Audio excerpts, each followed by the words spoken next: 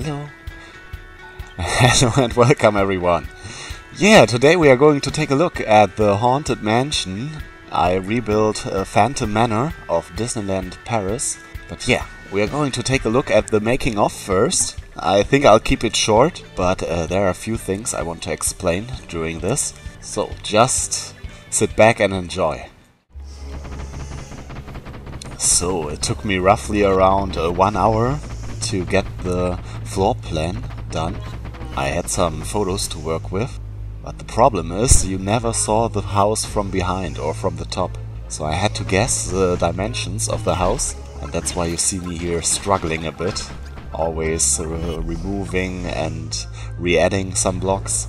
So you just have to imagine that each block in the game is like uh, one meter long or like three feet. This way you'll just take a look at the photo and try to imagine how many blocks you need for the width and the height. After I lay down the floor plan, I'm going to check uh, which blocks kind of combine well together. Because when you create a wall that's only made out of one type of block, it looks kind of boring. So you need to have some kind of differentiation between uh, the different yeah, areas of the wall. I always like to give the first levels of the wall a different look, so it kind of blends together with the floor. Then normally I also like to look at some kind of block which I'll take for between the different floors of the house. Like as you saw in my mansion build, there I took some some castle blocks and put them between the floors so it makes some sense uh, from the outside that you also can see where the different floors start and end and it also makes the wall a bit more interesting. So, and then I just completed the whole outside walls and facade. Facade? Uh, facade. The whole outside facade of the house, also the roof. And after that I was left with an empty house. So normally I uh, try to make the rooms at the same time as I do the walls. But this time I only had some pictures to work with from the outside, so I only finished the outside first. Also uh, for the picture contest, only the outside is important. Then I just went along with the shape of the house and tried to fill it with some rooms that made logical sense. So like a living room, a dining room, a kitchen, some stairs leading up, then a little bathroom with a blood bath, then a little relaxing area and a bedroom. And then you also have of course the attic.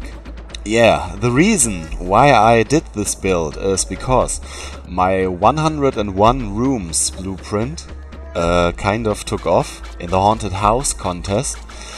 And I'm like, ah, well, yeah, maybe you could consider some rooms a haunted house, but that's nothing you could use with a clear conscience to, to win a contest. Because right now I'm at place number two, and if I win place number two, I want to have something in the contest that really resembles a haunted house. That's why I did this. So, but before we start the tour, there are a few things I want to talk about, uh, because a bit has happened in the last couple of days. Uh, some of you may know Wood from Beat 'em Ups. He also got a YouTube channel, and he's kind of my favorite YouTuber. And he uh, replied to me on Twitter, and also in his latest video, you can see how he uses my blueprint. So now that we're in the end game, as I said, it's, it's kind of actually easier to compare this to Minecraft because the, the story is done. So now I'm left with the, the, the key mechanic of the game, which is the crafting. Over here in this area, I, I, am doing some work, as you can clearly see. There is a lot to this game that I am still discovering, um, and one of the most recent discoveries I made, that if you go to the online, you can actually look at a bunch of pictures of things that other people have made and posted, and you can go and actually visit their islands, and I didn't realize it. So you can go, like someone could come to my island right now and explore it and get ideas, and there's a tool called the Magic Pen where you can copy someone else's blueprint, and your villagers will actually come and help you build it, which is really awesome and really handy. It's taken them a long time though, because this blueprint is huge. Now, funny enough... Yeah, you didn't want to see me how I reacted when I saw that.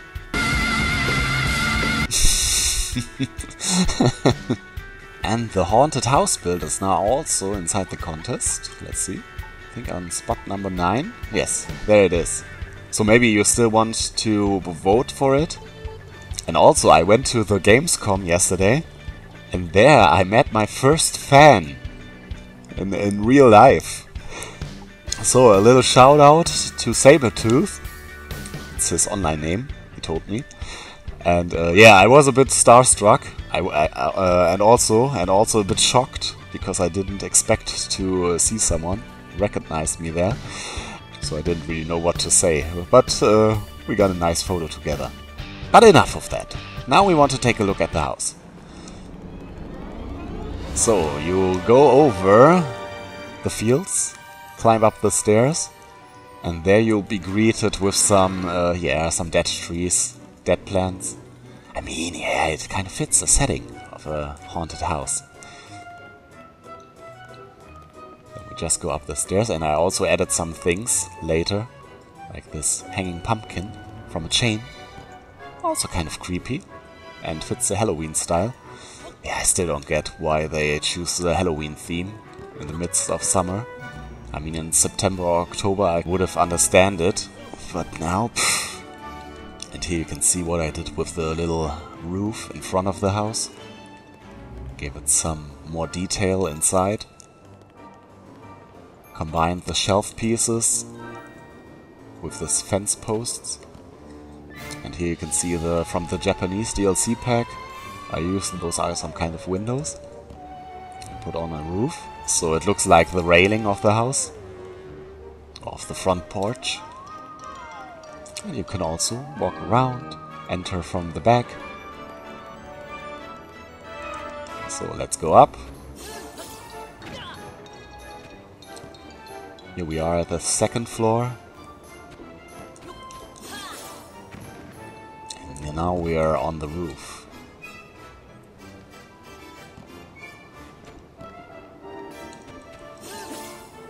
Also got a few chimneys, like the original had. Yeah.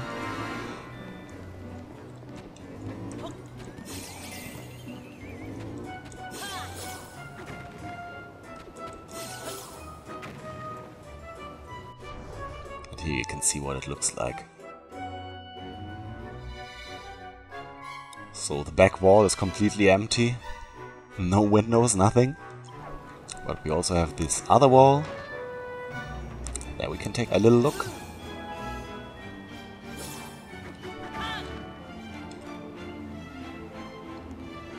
I also added some details, like this water pipe running down.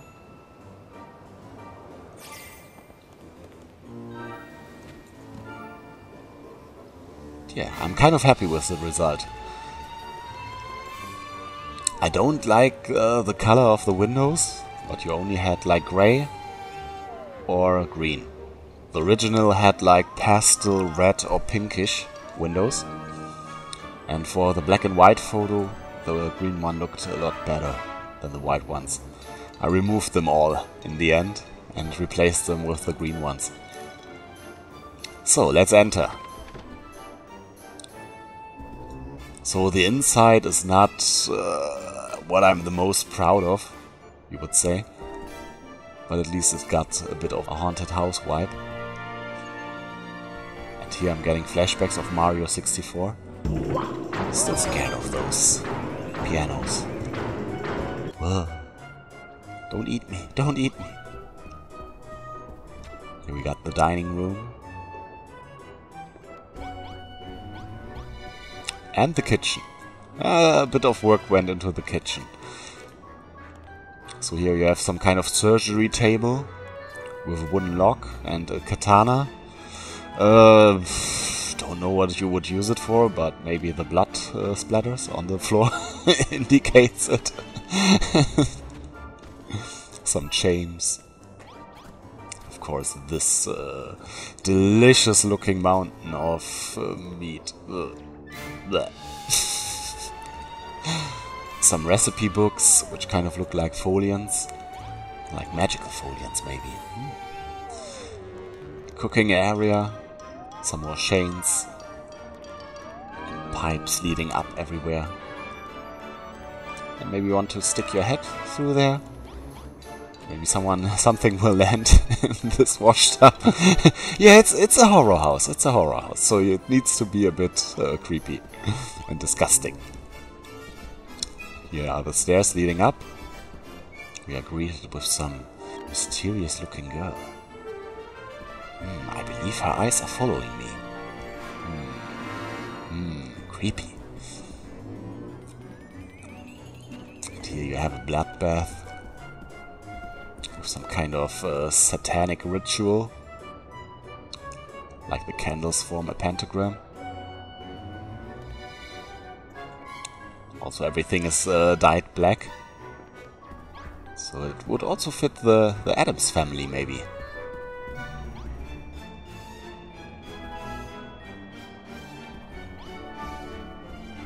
Ah, and you can also go outside here. Yeah, it doesn't fit. It doesn't fit the windows, but what else can you do?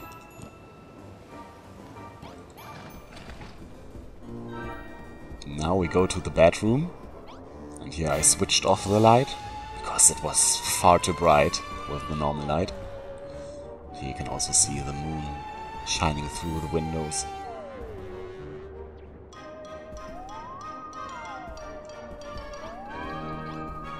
And now we go up to the attic.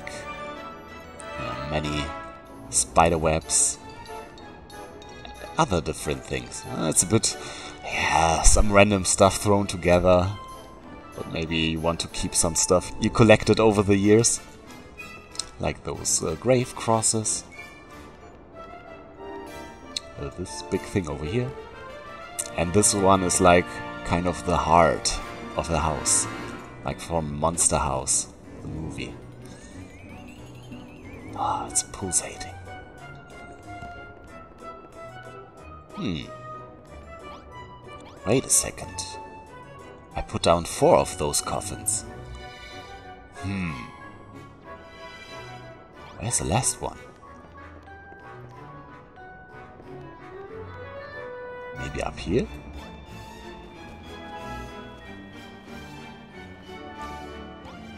What the heck? What are you doing here? Wait, is someone inside? Malroth, what the heck? What are you doing in here? You hung over and you want to have some rest? Okay. Okay, we'll, we'll let him sleep for now. Poor Malroth.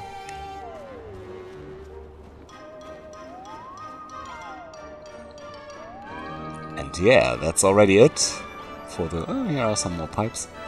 That's already it for the Haunted Mansion tour. Or the Phantom Manor tour. I hope you enjoyed this this little tour of this house. Wait, you're not a black cat. Doesn't fit the style of this house. Come on and get Blackie.